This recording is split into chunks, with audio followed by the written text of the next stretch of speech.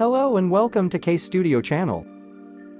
I'm excited to present to you Spline Flow, a new plugin for 3ds Max, which simplifies the creation of complex parametric objects based on the splines. With Spline Flow, you can effortlessly generate splines that smoothly flow from one to the other and follow a specific path that in turn allows the formation of complex objects. Today we will explore all the features of spline flow through the creation of this parametric wooden chair. The chair is composed of three main shapes, 1, 2 and 3, and an additional shape for direction. Let's kickstart to create a spline flow. First, go to K-Studio category under Create panel, and from Shapes choose Spline Flow.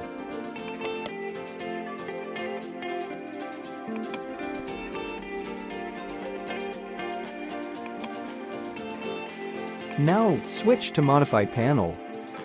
Under the Shape section, let's start picking the three shapes to add their splines to the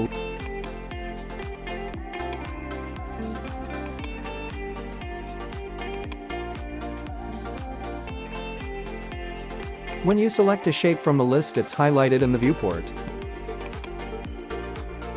Playing with the disable and reverse options allows excluding shape without deletion and reversing it respectively.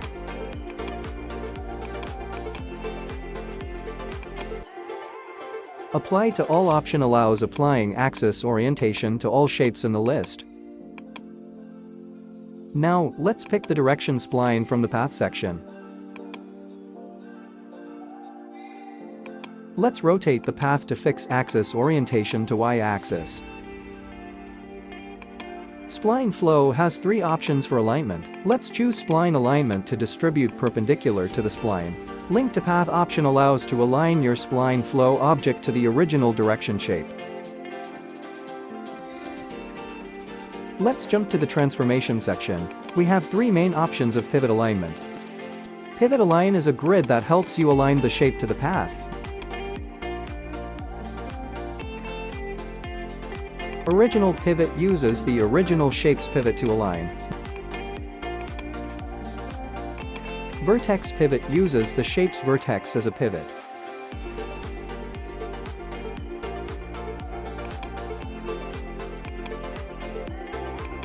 For this tutorial, pivot align will be our choice.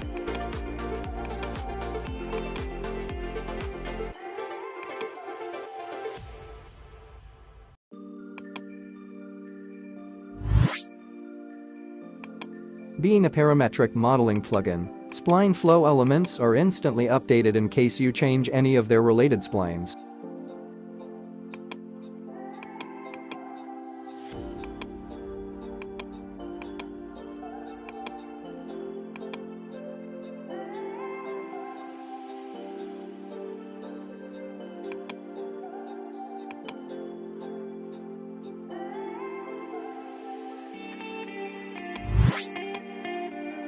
Let's check the distribution section to control the density level of the generated intermediate shapes.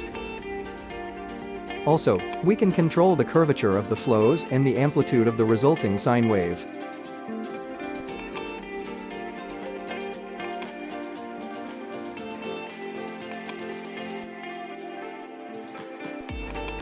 From Transformation section, let's play with the offset options to control the middle curve offset relative to the path.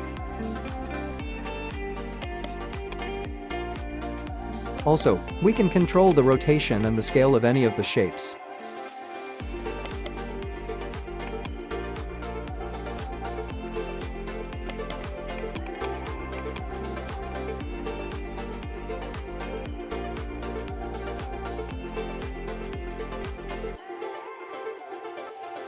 Now, let's add a sweep modifier to create the chair geometry from the resulting spline flow shapes.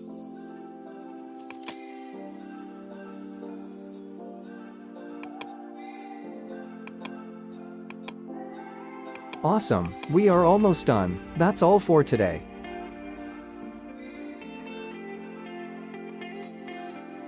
Buy your copy now. For more information check the links in the video description. Thanks a lot for watching, see you in the next tutorial.